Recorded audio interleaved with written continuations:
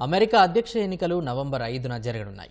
ఇందులో ఒక్కోసారి ప్రత్యర్థి కంటే ఎక్కువ సీట్లు సాధించిన అభ్యర్థి విజేత నిలిచే అవకాశం ఉండకపోవచ్చు. ఎందుకంటే అమెరికా అధ్యక్ష ఎన్నికల్లో ఓటర్లు నేరుగా తమ అధ్యక్షుని ఎన్నుకోరు. అక్కడ ఎలక్టోరల్ కాలేజీ వ్యవస్థ అమల్లో ఉంది. భారత్లో జరిగే ఎన్నికలతో పోలిస్తే అది కాస్త భిన్నంగా ఉంటుంది. ఇంతకీ అమెరికా అధ్యక్ష ఎన్నికలు ఎలా జరుగుతాయి? ఈ కథనంలో చూద్దాం.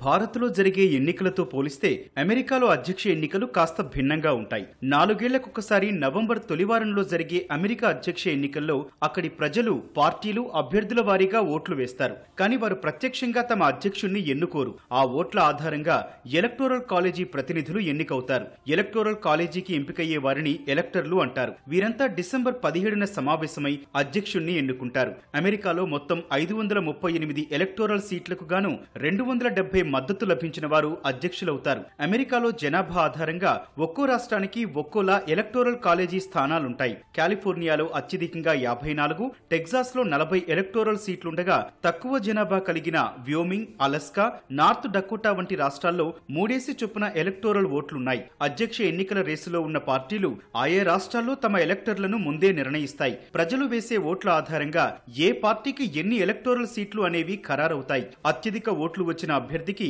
ఆ రాష్ట్రంలో ఎలక్టోరల్ కాలేజీ స్థానాలన్నీ వెళతాయి. ఇది భారత్లో జరిగే ఎన్నికలకు భిన్నంగా ఉంటుంది. ఉదాహరణకు యాభై నాలుగు ఎలక్టోరల్ ఓట్లున్న కాలిఫోర్నియాలో కమలా హారిస్కు సగం కంటే ఎక్కువగా యాభై పాయింట్ ఒక్క శాతం ఓట్లు వస్తే ఆ రాష్ట్రంలో ఉన్న యాభై నాలుగు ఎలక్టోరల్ కాలేజీ ఓట్లు డెమోక్రటిక్ పార్టీ ఖాతాలోకి చేరతాయి. అందుకే అమెరికా అధ్యక్ష ఎన్నికల్లో ఎక్కువ ఓట్లు వచ్చేదానికంటే రెండు వందల డెబ్బై ఎలక్టోరల్ కాలేజీ సీట్లు వచ్చేలా ఓట్లు రావటం అవసరం.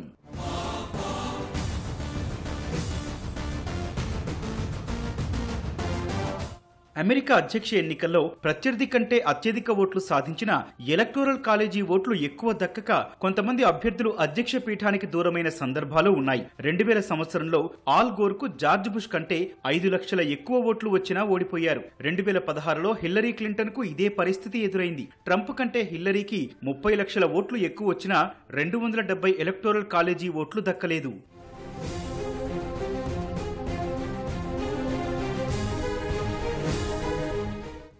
ఎలక్టోరల్ కాలేజీ సభ్యులు తమ రాష్ట్రాల్లోని ఓటర్ల అభీష్టానికి అనుగుణంగానే అధ్యక్ష ఎన్నికల్లో ఓటెయ్యాలన్న రాజ్యాంగ నిబంధన ఏదీ లేదు. అంటే కాలిఫోర్నియా నుంచి యాభై నాలుగు మంది డెమోక్రటిక్ పార్టీ ఎలక్టర్లంతా కమలా హారిస్ కే ఖచ్చితంగా ఓటు వేయాలని ఏమీ లేదు. అయితే వీరు నమ్మక ద్రోహానికి పాల్పడటం చాలా అరుదు. నిర్దిష్ట పార్టీకే ఓటేస్తామని ఆ సభ్యులు ముందే ప్రకటిస్తారు. ఎలక్టోరల్ కాలేజీ సభ్యులు ఎవరైనా ఒకవేళ మాట తప్పితే వారిపై ఆయా రాష్ట్రాలు కఠిన శిక్ష విధించాలని అమెరికా సుప్రీంకోర్టు రెండు వేల ఇరవైలో ఆదేశించింది. వచ్చింది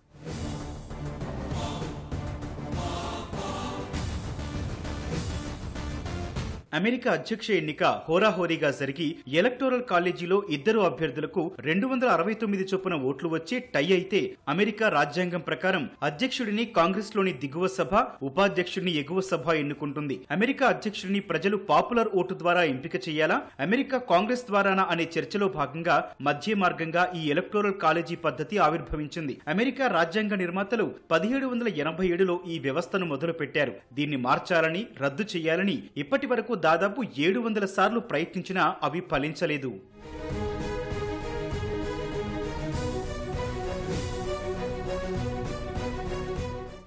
ఈ ఎలక్టోరల్ కాలేజీ వ్యవస్థ వల్ల ప్రయోజనాలున్నాయి ప్రతికూలతలు ఉన్నాయి. చిన్న రాష్ట్రాలు కూడా అభ్యర్థులకు ముఖ్యంగా మారతాయి. అభ్యర్థులు దేశమంతా తిరిగి ప్రచారం చేయాల్సిన అవసరం ఉండదు. కీలక రాష్ట్రాలపై దృష్టి పెడితే సరిపోతుంది. ఇక ప్రతికూలతల విషయానికొస్తే పాపులర్ ఓటు అంటే దేశవ్యాప్తంగా ఎక్కువ ఓట్లు దక్కిన అభ్యర్థి ఓడిపోయే అవకాశం ఉంది. తమ వ్యక్తిగత ఓట్లు పెద్దగా ప్రభావం చూపలేదని కొందరు భావించే అవకాశం ఉంది. అమెరికా అధ్యక్ష ఎన్నికల ఫలితాలను స్వింగ్ స్టేట్స్ ఎక్కువగా నిర్దేశిస్తూ ఉంటాయి.